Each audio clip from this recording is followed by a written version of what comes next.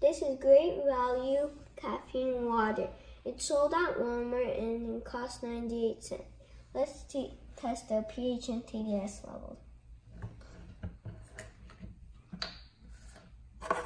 Let's pour some water in.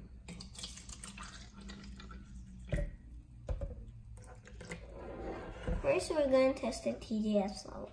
If you want to buy this TDS tester, check the link down below.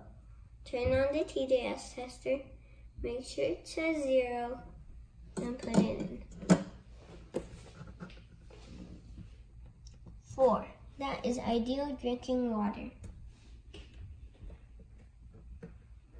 Now let's test the pH level. If you want to buy this pH tester, check the link down below. Only do two drops. Let's stir it a little for a better result. I give this a 5. This is acidic.